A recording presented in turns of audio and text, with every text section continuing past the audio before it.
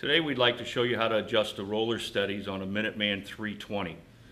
First thing you have to do is you have to get material in the bar feeder and also in the lathe. That means also the, into the bar feed collet, into the main spindle collet and closed. At that point you have two roller steadies on the bar feeder. You have a stationary one inside the bar feeder and you have a movable outside the bar feeder. They both adjust the same way with two screws.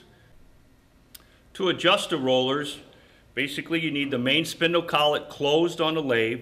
You have a 10 millimeter nut right here on your adjusting screw. You want to make sure that it's loose. And then you will come to your handheld controller and you will push the pre-auto button which will allow them to close. At this point you will start your adjustment. If you go clockwise, it adjusts for larger material. Counterclockwise adjusts for smaller material.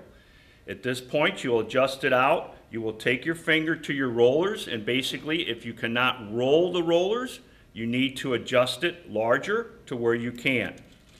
You'll adjust it in and then turn them again. Okay, and at this point, all you want is a little bit of friction on the bar to where you can turn them.